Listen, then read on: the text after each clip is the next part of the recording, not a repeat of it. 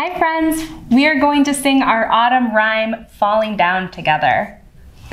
The green leaves are turning to yellow, red, and brown. When the wind comes whistling by, they all come falling down.